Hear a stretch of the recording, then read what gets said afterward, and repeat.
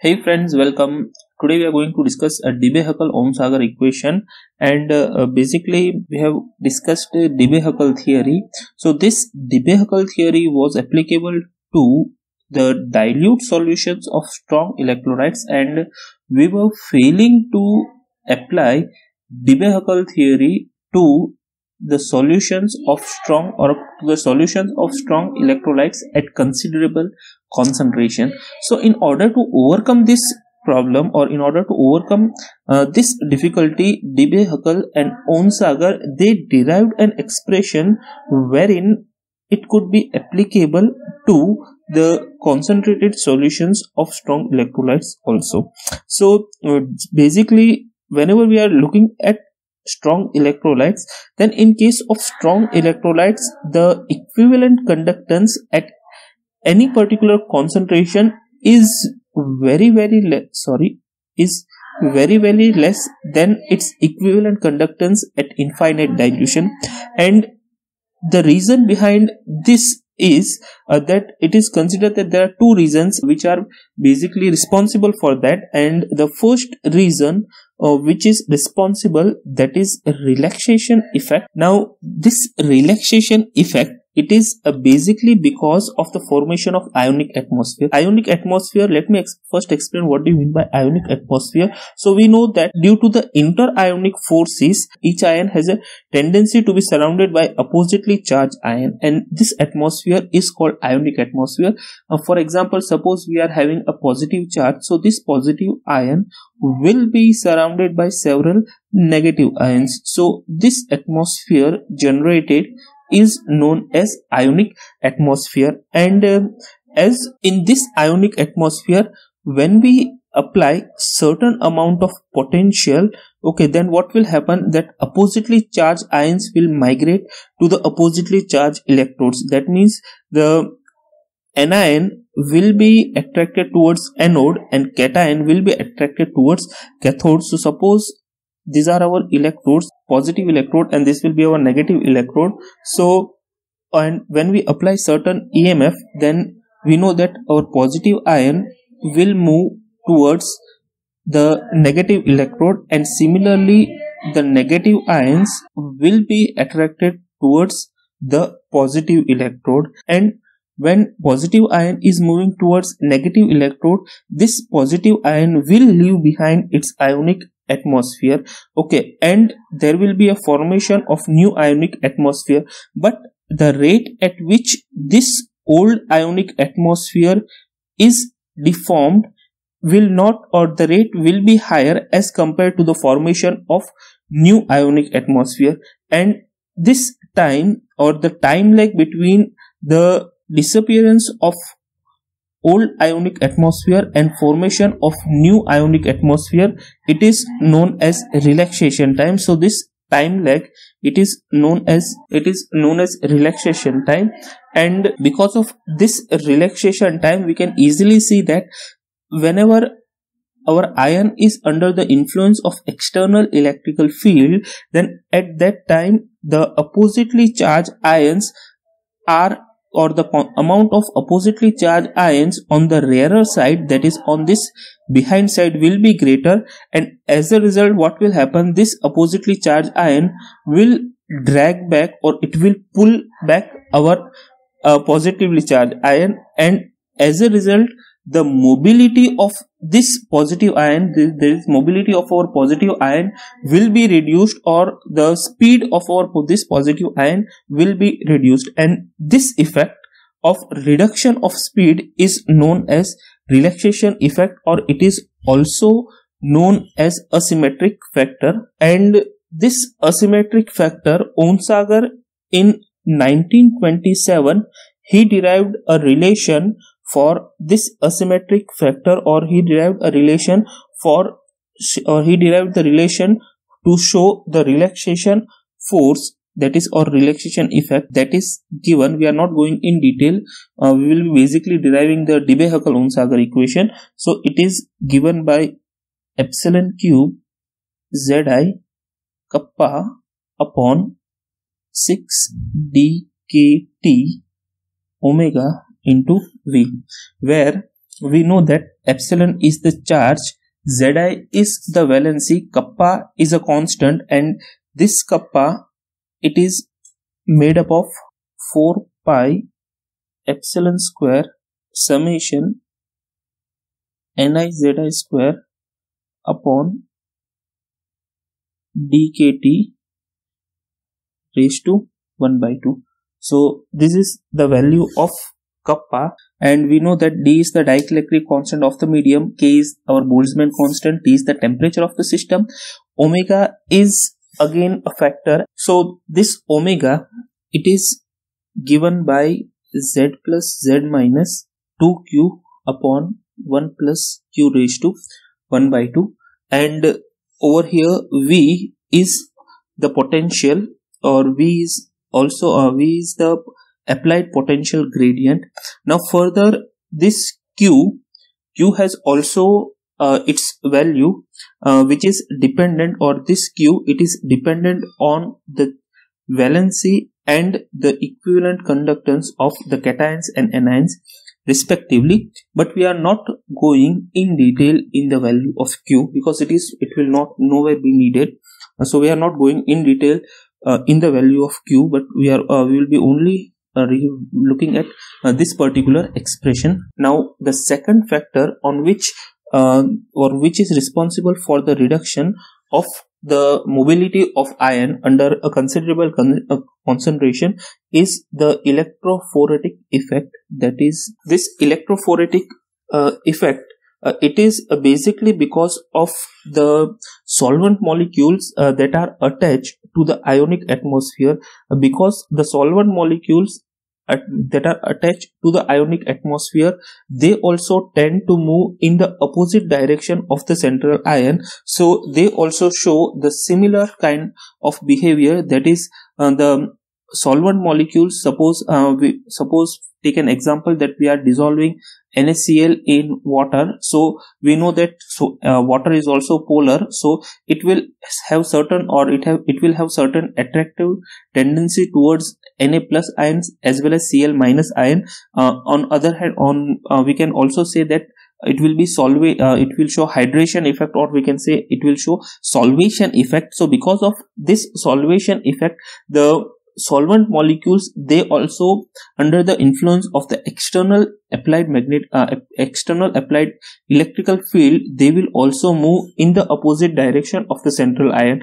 And as a result they will also cause the friction and because of which the mobility of the ion or the mobility of our central ion which is under consideration it also reduces. And this effect that is reduction of mobility of ion because of the opposite motion of the solvents that we have taken or that we have considered it is known as our electrophoretic effect. Okay. So and this electrophoretic effect uh, it is based on Stokes law and uh, on, on the base of Stokes law, Debye and Huckel, they calculated what will be the effect of the electrophoretic force, okay, electrophoretic force, that is the force because of which our or because of which our central metal ion it experiences the retardation and that electrophoretic force that i am writing it as in smaller small uh, in abbreviation as ef so ef uh, that is our electrophoretic force it is given by epsilon zi kappa. Again kappa has same value 6 pi neta capital Ki and V, where V is again the potential gradient, Ki is the coefficient of fractional resistance of the solvent and which is opposing the motion of our eye. So it is our coefficient of the resistance of our solvent kappa we know it is again constant which is which consists of all these values. Zi again is the valency epsilon is the charge and 6 pi and neta is the viscosity of the medium. So neta is the viscosity of the uh, neta is the viscosity of the medium because uh, it also that that is the amount of electrophoretic force it also depends on the viscosity. Lower the viscosity less will be the electrophoretic force.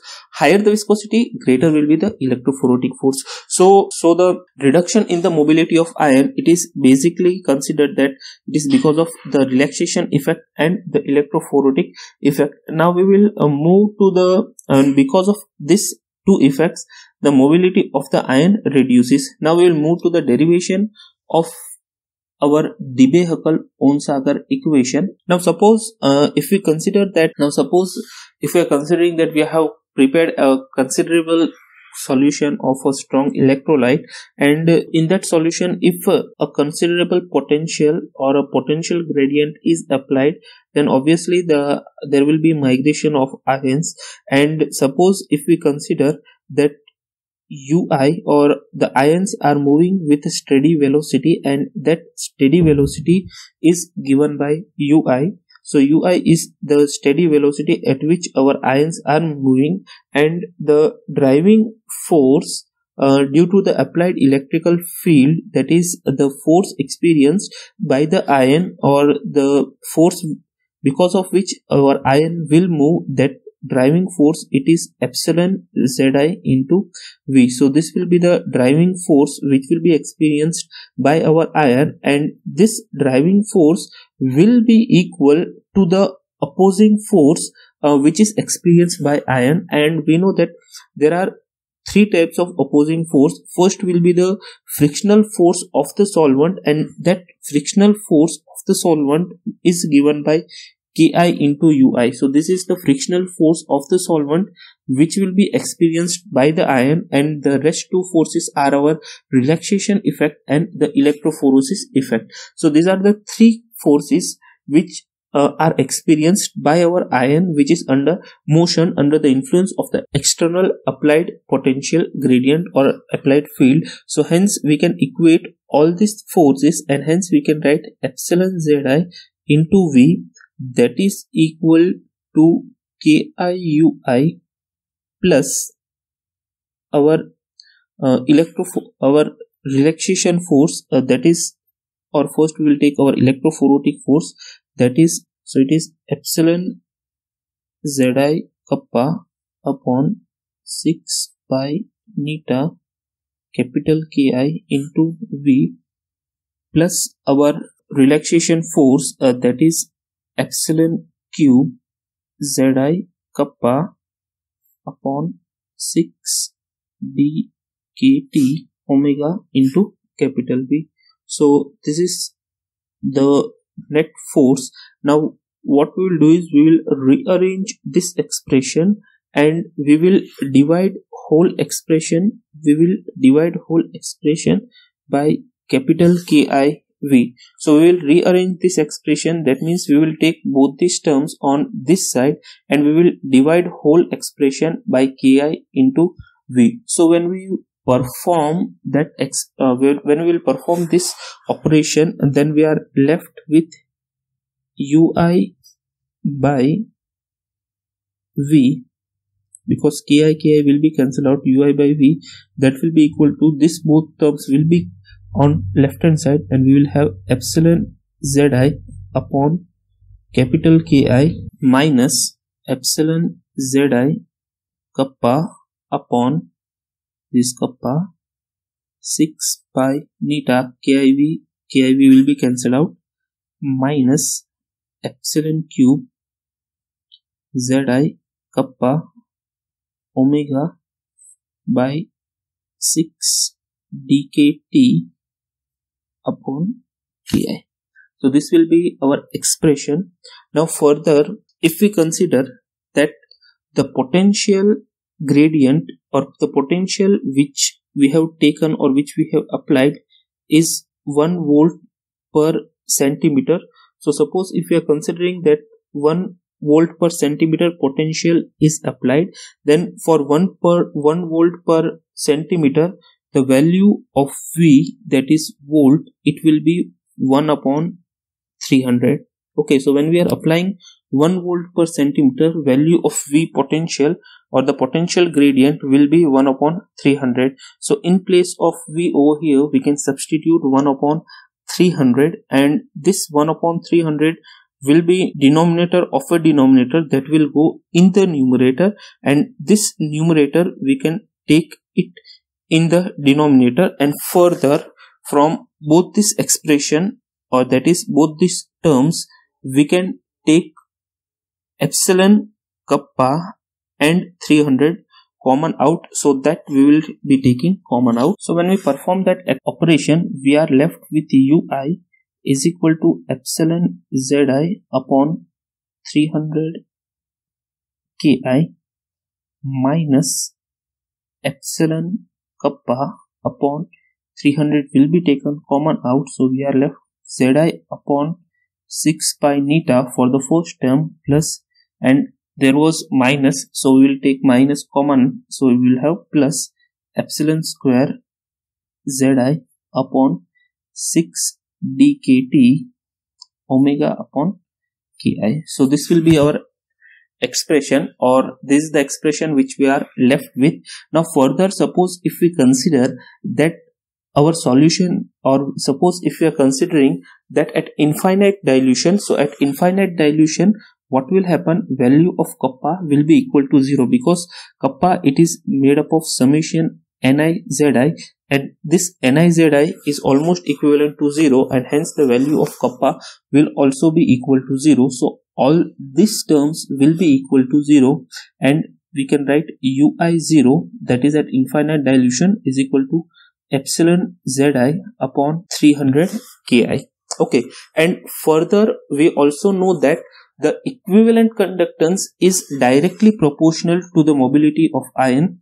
Uh, that is i can write lambda i0 it is directly proportional to to the mobility of ion and hence we can write lambda i0 is proportional to ui0 and in order to remove the proportionality sign we can write f into ui0 where f is our faraday's constant. So when we rearrange this expression we will have ui0 will be equal to lambda i0 by f.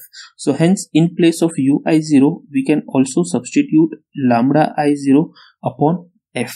Okay and further if we are considering that our solution is at a finite dilution then in case of a finitely dilute solution we need to consider the degree of dissociation also and the degree of dissociation we write it in terms of alpha. So so under such circumstances we can write that equivalent conductance at a finite dilution will be proportional to the degree of dissociation into the mobility of ion and hence we can write lambda i is equal to f into alpha into ui so we can write ui will be equal to lambda i upon alpha f. Okay which is in case of finite dilution because we need to consider the degree of dissociation also. And if degree of dissociation is 1 then lambda will be equal to 1 so generally for strong electrolytes lambda is equal to 1 so further what we can do is we can substitute the value of ui in the above expression and also further in place of epsilon zi 300 ki we can will substitute this particular value and hence our expression will take the form that is we will have lambda i upon alpha f where lambda i we know it is our equivalent conductance and we'll have lambda i0 which is our equivalent conductance at infinite dilution upon f minus rest all will remain the same that is 300 zi upon 6 pi neta plus epsilon. I will write this in bit different way that is epsilon 6 dkt into I can write epsilon zi by ki into omega. Okay so this epsilon zi by ki okay. Epsilon zi by ki i can write it equal to 300 this epsilon zi by ki i can write it equal to 300 lambda i0 by f. So in place of this i can substitute 300 lambda i0 by f. And suppose if we consider that uh, our electrolyte it dissociates completely. So as i've told when electrolyte dissociates completely at that time the degree of dissociation alpha will be unity. So when the electrolyte dissociates completely alpha will be equal to unity. So we can write alpha is equal to unity and this f i can take it for multiplication. So i will have lambda i is equal to lambda i0 minus f i can take multiplication. So epsilon kappa upon 300 into zi upon 6 pi neta f. Plus now this again we have 300 lambda i0 by f. So ff will be cancelled out and we will have 300 epsilon upon 6 dkt lambda i0 omega.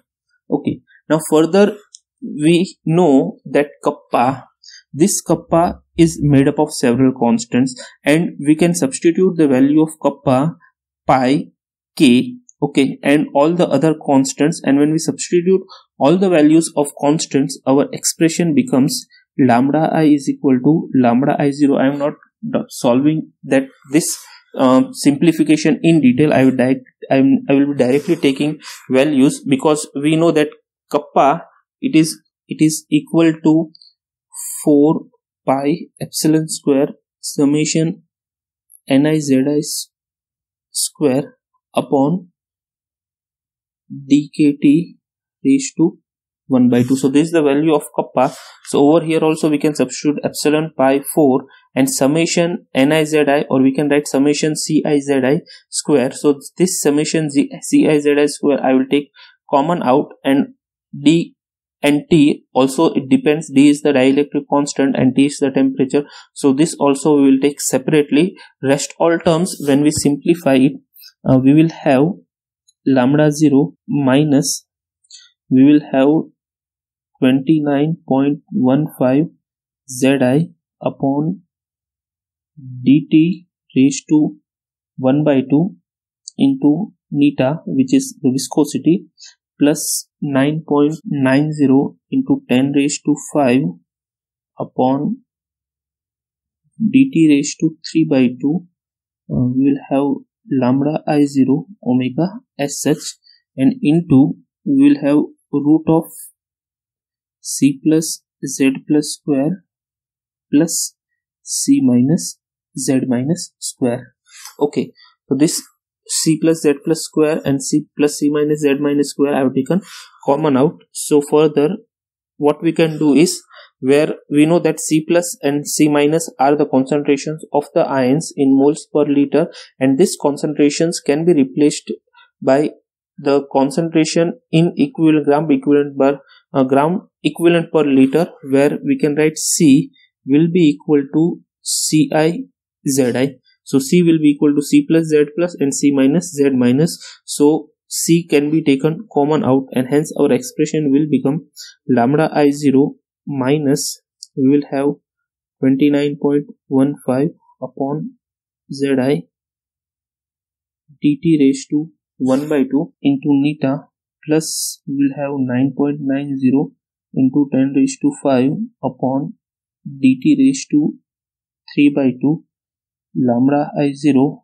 omega and this we will have under root of c z plus plus z minus because this is c into z plus and c into z plus. So c will be taken common and we will have z plus plus z minus. Now further what we can do is we know that equivalent conductance of any electrolyte is the sum of the conductance of its constituent ion. So over here zi i can write it in the form of z plus plus z minus. Okay so we know that equivalent conductance is the sum of the constituent ion. So z i i can write it as z plus plus z minus. And when we are considering any uni-univalent electrolytes then in case of uni-univalent electrolyte z plus will be equal to z minus and that will be equal to 1 and further omega will be equal to 2 minus